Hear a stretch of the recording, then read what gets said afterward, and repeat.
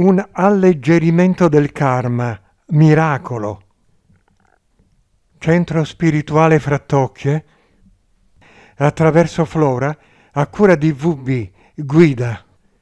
Il nostro spirito è Dio, è parte di Dio, perché Dio ci ha generati con la sua luce di vitalità. Allo spirito si attribuisce il pensiero che può muoversi a velocità incredibile, materialmente inconcepibile, e lo spirito può camminare di pari passo con esso.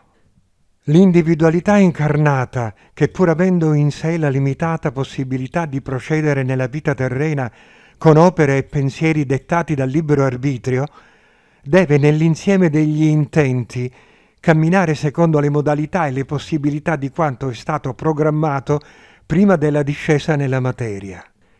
Per eliminare le scorie, o meglio, per alleggerire le proprie colpe, lo spirito, pur essendo sempre presente, rimane in contatto con l'essere tramite la coscienza e si fa quasi da parte lasciando il posto al divenire e al verificarsi delle azioni karmiche.